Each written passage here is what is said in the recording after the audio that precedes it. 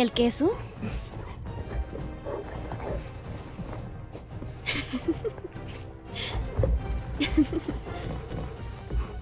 Grabé a mis perros jugando en cámara lenta y los resultados son aterradores.